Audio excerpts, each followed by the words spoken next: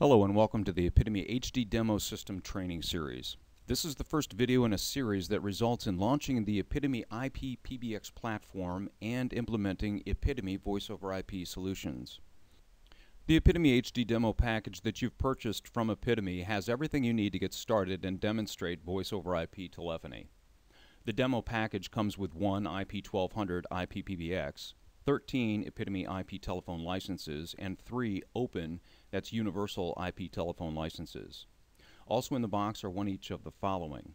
An IP220, which is a two SIP line telephone, an IP320, which is a two SIP line telephone, an IP410, which is a four SIP line telephone, an IP620, which is an eight SIP line telephone, an IPX32, which is a 32 button expansion module that can be applied to the IP330 the IP410, and the IP620. Power supplies for each device are also included, although we will use smart PoE switches throughout these sessions since we believe this is the method of choice for professional installation. In addition to the extension licenses, your package includes IPitomy's all-encompassing ACD, 16 call manager licenses, 5 additional conference rooms, scheduled announcements license, and it is Ingenious enabled. What you need that's not in the box are the peripherals of the IP platform. Browsers are the first peripheral for which you need to be acquainted. The three browsers listed here are Mozilla's Firefox, Google's Chrome, and Microsoft's Internet Explorer. You should be acquainted with two or more of these browsers. If not, you should exit this training and get acquainted with them now and then return to this session. Neither IPitomy training nor technical support can instruct anyone on these elementary tools of Internet protocol navigation. The next peripherals that we're going to talk about is the switch.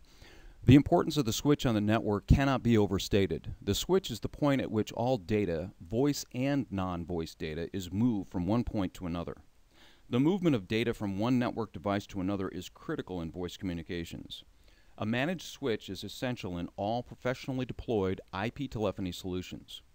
Since the nature of bandwidth is such that what is available is used as it is needed, it is ultimately important that QoS be set on the network to give voice traffic priority over all other traffic.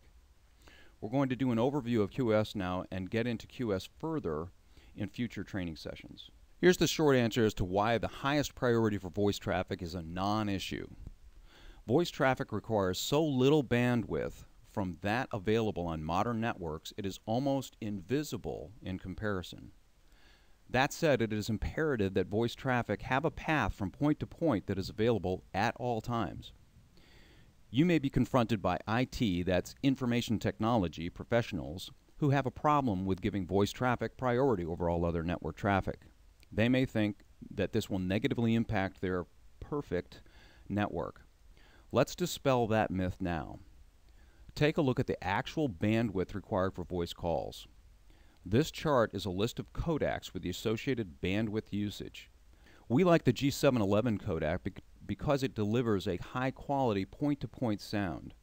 G711 occupies 80 kilobits considering all of its overhead. This is a one-way voice connection. Since telephone calls require two-way connections, each of the IP bandwidth requirements must be doubled. Most network deployments are capable at least of 100 megabits per second.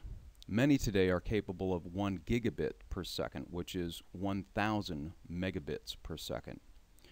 Using a 100 megabit per second network example and only traffic of voice, you would have enough bandwidth for 500,000 calls simultaneously. On the chart here, we've plotted bandwidth usage for a few different applications on a 1 gigabit per second network. Notice that the voice traffic occupies almost no bandwidth in comparison to other applications.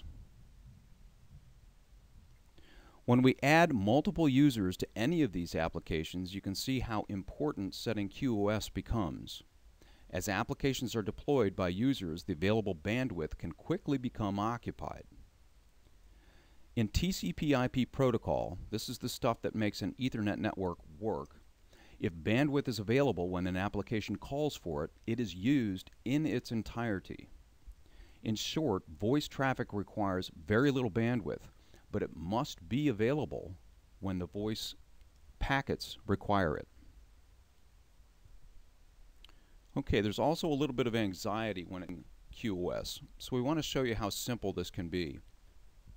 This, this switch is one of our favorites, very uh, cost effective and um, uh, useful device. It is the Netgear FS728TP. It's a 24 port PoE switch. In this switch, we just enable QoS, and then we set the trust mode to DSCP. Then we navigate to the DSCP mapping page and set the D DSCP setting that matches what we have in the PBX. In this particular case, we have a uh, CS3 set, and we're going to set that to the setting of high. So it gets the highest priority when compared to other packets that are waiting in queue to be transported on that port. That's it. So it's quite easy to deploy QoS and very, very fundamental in making sure that your voice over IP application works well. We'll talk about setting the DHC, DSCP settings in the PBX in a later session. For now, for this session, we're going to go on to the router. Routers are the part of the network that link your network from the internal domain, which is also known as the LAN, to the external domain, also known as the WAN. Routers take on many shapes and forms. They might be just software or both hardware and software. Cost of routers ranges from $40 to thousands of dollars.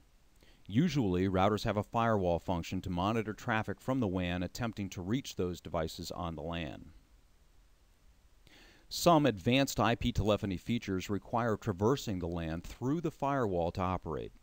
These would include remote administration, branch office networking, remote IP phone networking, and remote command line interface access. We have a list of routers that we found to work well. We don't recommend any router because we don't make them and have no control over when or how they may change. You are urged to use our list available at support.ipitomy.com and select the router that you like the best. Use all the available resources to determine what router you will use. One of our favorites is the Linksys WRT54GL. You may not find this at Best Buy, but you'll have no trouble finding it on the internet. When selecting a router, look for the processing speed, quality, and its reputation for natting well. NAT is NAT and it stands for Network Address Translation, and it is fundamental to deploying IP telephony.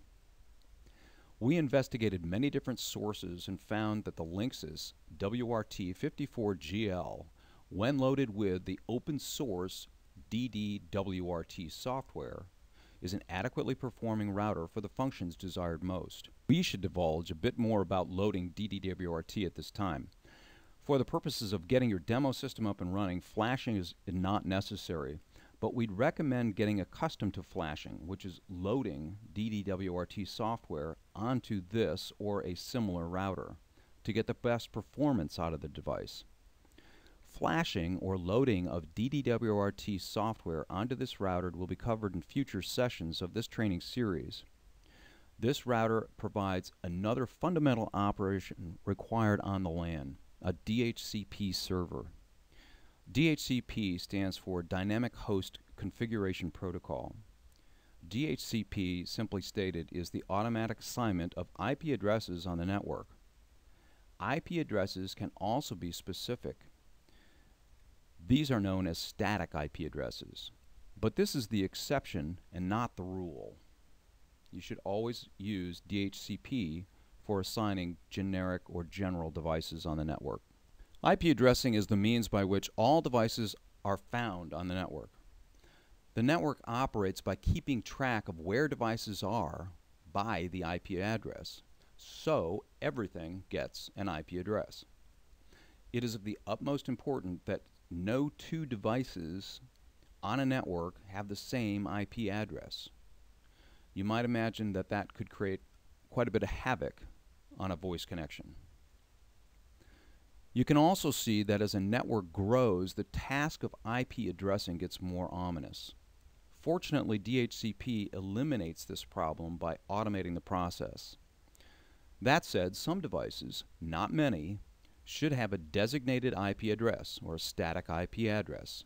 These devices are the PBX, the router, and any switches. All other devices should be set for DHCP so that conflicts cannot occur.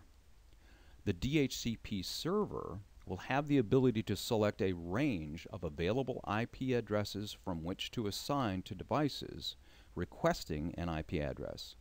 This range is specifically set not to include those IP addresses allocated for statically assigned devices. Okay, now it's time to hook things up. Generally, the topology of connections is from the WAN to the LAN. So connect the internet port of the router to your ISP internet connection.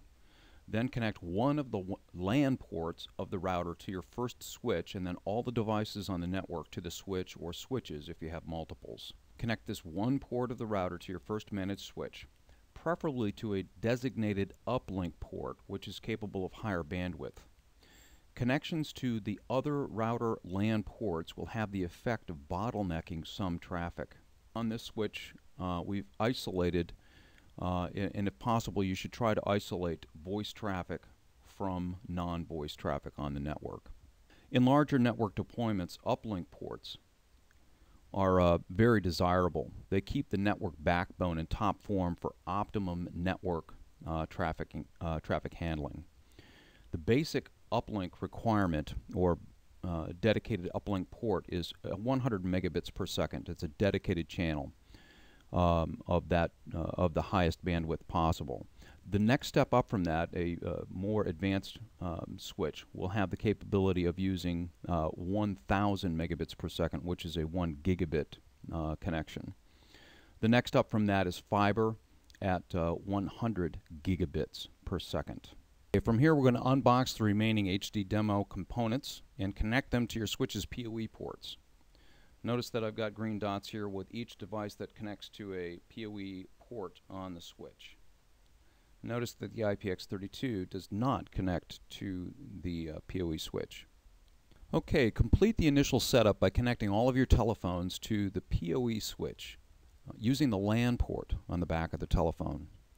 When all are connected, uh, they'll all be powered, uh, but they will not be registered to the uh, PBX. At this point, they are ready for association with your PBX. Uh, this can be done in several ways. Uh, in the next training module, we're going to use the auto provision method to install the telephones onto the demo IPPBX. So this concludes session one of the IPitomy HD Demo Kit series. Thank you. If you don't have your demo kit yet, please contact IPitomy at 941-306-2200 and select option 1 for sales, or navigate to www.ipitomy.com. Thanks.